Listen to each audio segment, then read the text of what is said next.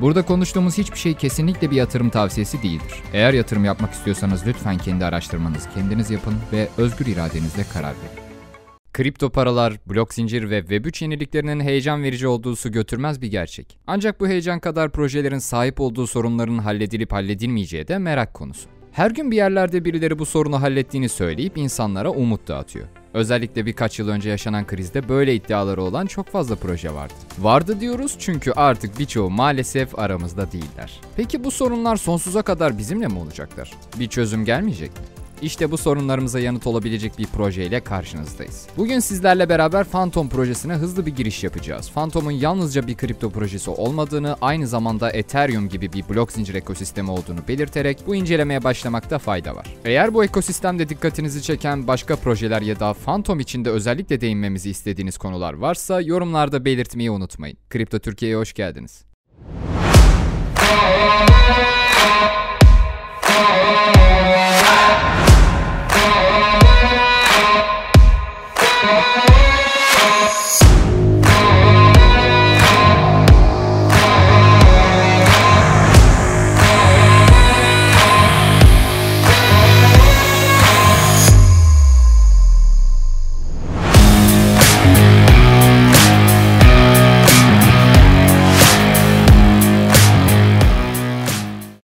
Phantom blok zincir alanında bulunan 3 ana zorluğu ele almayı amaçlayan yenilikçi bir akıllı sözleşme platformu. Merkeziyetsizlik, ölçeklenebilirlik, güvenlik. Bu amaçla Phantom DAG modeli, lekesiz konsensus algoritması ve Phantom sanal makinesi gibi bir dizi farklı araç ve teknoloji kullanıyor. 2018'de piyasaya sürüldüğünde ekip Phantom'un akıllı şehirler için önemli yapı taşlarından biri olacağını öngördü trafik yönetimi, akıllı ev sistemleri, sağlık hizmetleri ve eğitim için altyapı oluşturmadan bahsediyoruz. Ancak DeFi'nin ortaya çıkmasının ardından ekip bu projeyi hızla sonlandırıp Phantom ekosisteminin temel bileşenlerinden biri olarak merkezi olmayan finansı benimsedi. Bu hamlenin projeyi ilgi odağı haline getirdiği ve Phantom coin'e artan talebi körüklediğini belirtmek bizim açımızdan yanlış olmaz. Ethereum'a bir alternatif sağlamak için oluşturulmuş pek çok projeden birisi olduğunu net olarak söyleyebiliyoruz. Phantom Mainnet'i yani ana ağı Aralık 2019'da çalışmaya başladı ve ağ mimarisi istikrarlı bir ölçeklenebilirlik, güvenlik ve merkeziyetsizlik dengesi sağlayarak blok zincir trilenmasına yani üçlü açmazına uygulanabilir bir çözüm sağlamayı amaçlıyor.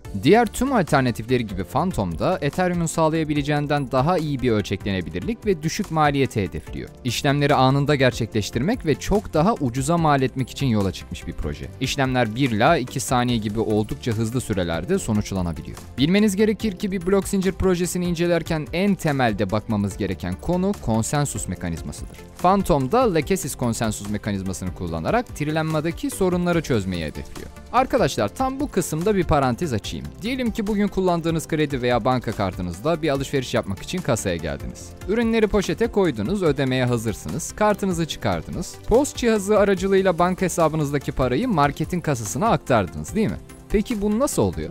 Daha doğrusu doğru soru şu. Bunu bilmek zorunda mısınız? Projeler bir takım yazılım dilleriyle hayata geçirilip kullanıcılara belirli vaatler sunuyorlar. Hızlı, güvenli ve merkeziyetsiz olma yolunda çok iyi performans gösterdiklerini söyleyip bize kendilerine yatırım yapmamız üzere pazarlıyorlar. Peki bu projelerin ekosistemlerini kullanarak vaatlerini yerine getirip getirmediğini deneyimleyemiyor muyuz? Cevap net. Evet, deneyimleyebiliriz. İşte tam burada kilit cümle şu. Eğer bu konulara meraklıysanız, ekosistemin damarlarına sızmak ve neyin nasıl yapıldığını dinleyip anlamak, üzerine okumalar yapmak istiyorsanız, bu kısımda çalışma prensiplerini irdelediğimiz bölüme devam edebilirsiniz. Eğer yatırımcıysanız, önünüzde tüm vaatlerini yerine getiren bir proje varsa, bunu tam olarak nasıl yaptığını bilmenize gerek yok. O yüzden bu kısmı aşağıdaki bölümler kısmından gönül rahatlığıyla atlayabilirsiniz. Şimdi arkadaşlar gelin şu fantomun teknolojisine bir göz atalım. Phantom saniyede 300 bine kadar işlem yapmak için biraz önce söylediğimiz gibi Lekesis adı verilen DAG tabanlı asenkron Bizans hata tolerans algoritmasını kullanıyor. Phantom'un arkasındaki ekip Proof of Work gibi yaygın blok zincir konsensus algoritmalarını kullanarak trilenmayı çözmenin neredeyse imkansız olduğuna inanıyordu. Bu nedenle Phantom yeni bloklar bulmak ve bunları işlemlerle doldurmak için belirli düğümler veya ana düğümler gerektirmeyen bir teknik kullanmayı tercih etti. Phantom'un ağ hızını arttırmasının bir yolu blok zincirin verilerinin tamamını kaydetmek için tüm düğümlere ihtiyaç duymaması. Bunun yerine düğümler onaylanmamış her işlemin geçerliliğini onaylamak için zincirin ilgili bölümünün anlık görüntüsünü alıyor. Snapshot gibi düşünün. Düğüm yalnızca zincirdeki son hareketi onaylama görevini tamamladığında kendi onaylanmamış hareketini gönderebiliyor. Daha sonra onaylanabilmesi için her yeni gönderime başka bir düğümün başvurması gerekiyor. Phantom'un mimarisi her katmanın farklı sorumlulukları üstlendiği 3 katmana bölünmüş durumda. Bunlar Opera çekirdek katmanı, Opera Wire katmanı ve uygulama katmanı. Gelin daha anlaşılır olması adına bu katmanların her birine ve genel olarak Phantom protokolü için ne yaptıklarına daha yakından bakalım. Opera çekirdek katmanı Phantom'un alt katmanıdır ve Lekesis protokolündeki düğümler arasında fikir birliğini sağlama sorumluluğuna sahip. Aynı zamanda etkinliklerin oluşturulmasından sorumlu. İşlemleri onaylamak için bir DAG teknolojisi kullanır ve DAG teknolojisinin kullanımı sayesinde düğümler bunları eş zamansız olarak işleyebilir. DAG deyip duruyoruz. Nedir bilmeyenler için hemen bir parantez açalım. DAG'yi farklı veri parçalarını bir araya getiren bir veri tabanı olarak düşünebilirsiniz. Blok zincirden farklı olarak işlemler blok halinde bir araya getirilmek yerine her işlem bir diğerinin üzerinde gerçekleşiyor. İşlemler blokları tamamen ortadan kaldırarak ayrı ayrı ele alıyor. Yani Phantom bir blok zinciri değil, aksine bir işlem zinciri. Opera Wire katmanı protokolün ortasında yer alıyor ve platformda ödül ödeme düzenleme ve story data yazma gibi işlevleri yürütmek üzere tasarlanıyor. Diğer son katmanımız Opera uygulama katmanı, en üstte yer alan katman. Geliştiricilerin D-app'lerinin Opera Wire katmanı ile arayüz oluşturmasını sağlamak için kullanacakları genel kullanıma açık API'leri barındıran Opera uygulama katmanı bulunuyor. Evet geldik Lekesis konsensusuna arkadaşlar. Bu arada ben yanlış telaffuz ediyor olabilirim, o yüzden kusuruma bakmayın arkadaşlar. Lekesis konsensusu DA doğrulayıcı tabanlı ABFT konsensus algoritmasıdır. Lekesis'teki doğrulayıcılar yalnızca her bir düğüm tarafından yürütülen doğrulamaları gözlemliyor ve düğümler tarafından tutulan verilerin geçerli olmasını sağlıyor. Yani Lekesis konsensusuyla uygulamayı oluşturmak için kullanılan programlama dilinden bağımsız olarak veriler herhangi bir uygulamaya teslim edilebilir. Bu da geliştiricilerin uygulama mantığının oluşturulmasına odaklanmalarını sağlıyor. Meraklısına işin teknolojisini ve çalışma prensibini anlattığımıza göre bu işi kimlerin yaptığından bahsetmek üzere takıma da detaylı bir bakış atalım. Phantom'un kurucusu Koreli Dr. An Byong. Bilgisayar bilimi alanında doktora yapmış olan ve aynı zamanda Kore Gıda Teknoloji Derneği'nde başkanlığını yürüten bir isim. Dr. An Fortune dergisinde yazarlık görevi de yapıyor ve Güney Kore'nin önde gelen medya kuruluşlarında sık sık yayınlanan makalelere imza atıyor. Daha önce bir gıda teknolojisi platformu kurmuştu. Bu platform aylık 22 milyondan fazla görüntülemeye sahip ve mobil uygulama 3,5 milyondan fazla kez indirilmiş durumda. Ancak şu anda Phantom'la ilişkili değil ve LinkedIn profili bile projeyle geçmişteki herhangi bir bağlantısından bahsetmiyor. Bunun nedeninin Güney Kore'deki sıkı politikalar olabileceğini düşünüyoruz. Bunu göz önünde bulundurmak gerekiyor arkadaşlar. A'nın yalnızca görseldeki CV'sine göz attığımızda bile ne kadar önemli işlere geniş bir portföye sahip olduğunu ve projeye kattığı değeri görebiliyoruz. Phantom'da CEO rolünü üstlenen Michael Kong, akıllı bir sözleşme geliştiricisi olarak blok zincir alanında birkaç yıllık deneyime sahip.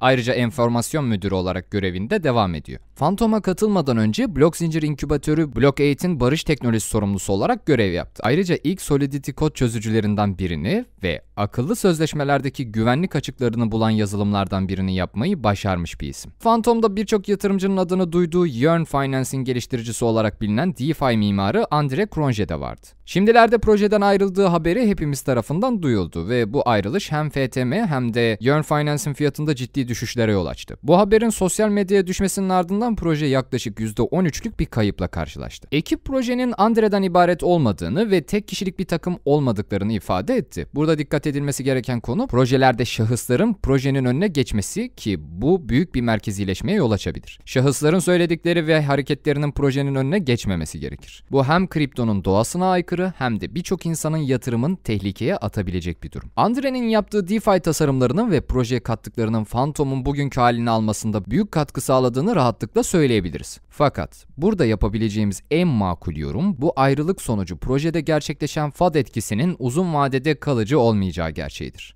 Teknolojisiyle rüştünü ispatlamış bir projeden bahsediyoruz arkadaşlar. Ayrılık ne kadar büyük olursa olsun, gerek Phantom'un muadili projelere nazaran piyasa değerinin az olması, gerekse yukarıda belirttiğimiz gibi tek bir haberle çökmeyeceği gerçeğini göz önünde bulundurmamızda fayda var. Ekibin geri kalanı finans, kriptografi, iş geliştirme, yazılım mühendisliği, mimarlık ve diğer alanlarda deneyime sahip. Projenin LinkedIn sayfasında daha fazla ayrıntıya erişebilirsiniz. Özellikle takımdaki kişilerin profillerine bakmanızı her zaman olduğu gibi şiddetle tavsiye ediyoruz. Geldik sosyal medya arkadaşlar. Phantom sosyal medya tarafı tarafında bir hayli güçlü, kendi topluluğunu oluşturmuş ve büyümeye devam ediyor. Sosyal medya hesaplarındaki takipçi sayılarının yanında aldıkları etkileşimlere de baktığımızda ekosistem içerisindeki kişilerin projeyi sahiplendiğini ve içeriye dahil olmak istediklerini görüyoruz. Bir kripto projesinde teknoloji kadar topluluğun gücünün de önemli olduğunu her zaman vurguluyoruz. Burada da topluluğun gücü fazlasıyla ortada. Twitter'da 385 bin, Telegram'da 30 bin, Discord'da 36 bin, Reddit'te ise 34 bin takipçileri bulunuyor.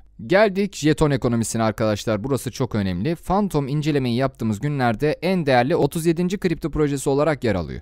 CoinGecko verilerine göre piyasa değeri yaklaşık 3.6 milyar dolar ve fiyatı 1.42 dolar. İncelemeyi yaptığımız sırada en yüksek fiyatı olan 3.46 dolardan %58 daha aşağıda bulunuyor. Piyasaya ilk çıktığında toplam jetonun %40'ı özel ve halka açık satışlarda dağıtılmış. Burada önemli olan bir nokta ise vesting'in olmayışı. Buna bağlı olarak fiyatı uzun zamanlar fazla artmamış. 3 aylık kilitlerin ardından yatırımcılara %15 verilmiş. Ekibe ise %10 ayrılmış ve 24 aya bölünmüş. Stratejik ortaklara %3.6 ve onların da vestingi yok. Direkt olarak verilmiş. Dağıtılan jetonların büyük bir kısmında vesting olmaması da fiyat baskısı yemesine sebep olmuş. Jeton ekonomisi için en güzel kısım %31.4 gibi büyük bir oranı 2024'e kadar parça parça airdrop ve staking ödülleri için ayırmışlar. Özellikle de staking için bu ekosistemin kullanıcı toplaması adına oldukça önemli bir adım. Enflasyon oranı %5, toplam enflasyonun %20'si ödüllendirme için %80'i ise Phantom kullanıcılarını teşvik etmek etmek için kullanılıyor. Toplam 3 milyar 175 milyon adet jeton var ve şu anda 2,5 milyarı dolaşımda. Tüm metriklere baktıktan sonra şunları söyleyebiliyoruz. Phantom büyük bir ekosistem. Bu ekosistemin henüz hak ettiği değeri görmediği açıkça ortada. Fiyatına ve hacmine baktığımızda gayet uygun seviyelerde özellikle kripto piyasasında düşüşler yaşandığı şu günlerde bir yatırımcı olarak değerlendirmek gereken bir proje. İşlem ücretlerinin ucuzluğu şüphesiz bir artı olarak yazılabilir. Yakın bir gelecekte blok zincirdeki finansal sistemlerin gündelik hayatta kullanılacağına inanıyoruz. İşte hem o noktada hem de bizim bugün kullandığımız sistemlerde bu oldukça önemli bir durum durum. İşlem ücretleri kadar işlemlerin hızlı bir şekilde gerçekleşmesi kripto para kullanıcıları için gayet önemli. Ödeme sistemleri ve borsalarda trade yapan kullanıcılar için bekleme süresi demek kaybedilen para anlamına geliyor. Klasik blok zincir altyapısı yerine yeni bir anlayış getirmesi inovasyon açısından önemli bir adım. Kullandıkları konsensus algoritması ve geliştiriciler için sağladıkları kolaylıklar ekosistemi kullanan kişi sayısını arttırabilmek için bir hayli güzel bir adım. Katmanlı yönetişim sistemi yani diğer platformlar kararları evet veya hayırla alırken Phantom projelerinde birden dörde kadar oy verilebiliyor. Geldik eksiler kısmına. Doğrulayıcı olabilmek için sahip olunması gereken FTM miktarı 1 milyon. Bu para sermayeyi göz önüne aldığımız zaman gayet yüksek bir tutar. Yine de herkes varlıklarını güvenilir bir doğrulayıcıya devrederek ödüller kazanabilir. Bunun içinse gereken yalnızca 1 FTM. Blok zinciri sistemine kıyasla daha düşük bir güvenliğe sahip olması. Tabii ki Phantom'un kullandığı sistem tamamen güvenliksiz değil. Aksine güvenliği korumak için kullandıkları protokoller var. Genel performans arttırmak için tasarlanmış bir ABFT, ara yazılım protokolü olan TXFlow ile garantili ağ güvenliği. Böylece platform güvenliği önceliklendirmek için hızdan vazgeçmiyor, bunun yerine her ikisini de geliştiriyor. Proje başlarda vaat ettiği gibi 300 bin TPS değerlerine maalesef bugünlerde ulaşamıyor. Bahsettikleri TPS değeri kağıt üzerinde teorik olarak mümkün. Şu anki TPS değeri ise 4500. Birçok projeden halen yüksek. Ancak bunu eksi olarak değerlendirmek görmemizin sebebi bahsedilen vaatlerin şimdilik gerçekleşmemiş olması. Phantom ölçeklenebilirliğe giden yolu açmak için DAG teknolojisini kullanan ilk proje olmasa da akıllı sözleşmeleri destekleyen altyapısının yanı sıra merkezi olmayan uygulamaların eklenmesiyle genişleyen kripto endüstrisine daha fazla değer katmayı vaat ediyor. Hızlı işlemler, düşük maliyetler, gelecekte bu teknolojinin kullanılabilmesi ve günlük yaşama entegre olabilmesi için son derece önemli özellikler. Proje ekosistemini güçlendirip kullanıcı ve uygulama sayısını arttırdığında geleceğin dünyası aslında aramızda olacağından hiç şüphe yok. Kanalımıza abone olmayı, videoyu beğenmeyi ve bildirimleri aktif hale getirmeyi unutmayın. Bir sonraki incelememizde görüşmek üzere. Şimdilik hoşçakalın.